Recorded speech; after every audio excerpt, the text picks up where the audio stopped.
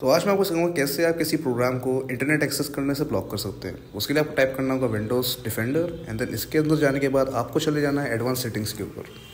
Then इसके बाद आपको जाना होगा आउटबाउंड रूल्स की तरफ़ and then right hand section में आपको जाना है न्यू रूल की तरफ़। और यहाँ पर जाने के बाद आपको एक नया रूल क्रिएट करना होगा। यहाँ से प्रोग्राम को सिलेक्ट रहने दीजिए और इसके बाद आपको जाना होगा नेक्स्ट पे।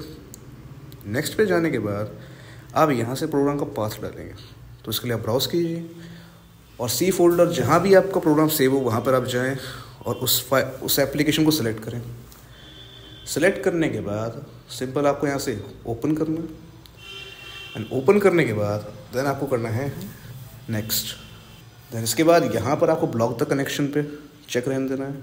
इसके बाद आपको करना है क्या है? नेक्स्ट उसके बाद इसको छेड़ने की ज़रूरत नहीं है। यहाँ पर आपको नाम डालना है अपनी एप्लीकेशन का, जो भी आप डालना चाहें तो कोई सा भी नाम। डिस्क्रिप्शन यहाँ पे आपको ऑप्शनल है, डालना चाहे मर्ज़ी है आपकी। देन इसके बाद वापस जाए एडवांस सेटिंग्स के ऊपर और देन चेक कीजिए इनबाउंड रूल्स को।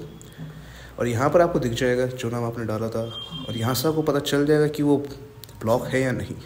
Thanks and subscribe for more